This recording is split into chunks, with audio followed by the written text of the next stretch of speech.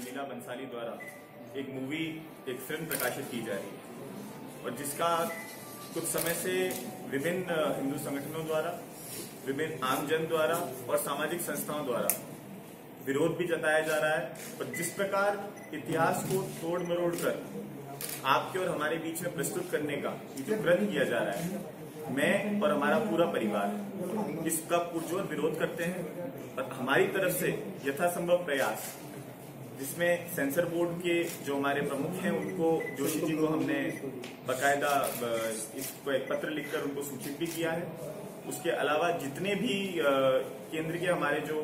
स्मृति ईरानी जी जो इसके मंत्री हैं, सूचना एवं प्रसारण के, उनको भी और राज्यवर्धन जी राठौड़ को भी। उनको भी इस पूरे विवरण के बारे में एक विस्तृत रूप से एक पत्र के द्वारा पूरी जानकारी दी गई है। और इसके लिए मैं ये समझता हूँ कि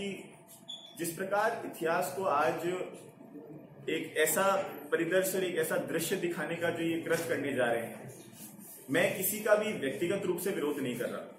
लेकिन हमारा विरोध सिर्फ़ इस बात तक सीमित है कि आज अगर जिसे, जिस हम ये कहते हैं कि आज ऑडियो विजुअल का जमाना है, आज आप, आज ज़्यादा से ज़्यादा जब कोई फ़िल्में इस प्रकार की बनती हैं तो वो एक इतिहास का एक तरीके से एक जीता जागता उदाहरण के स्वरूप में पेश होती है। और आने वाली पीढ़ी जिसे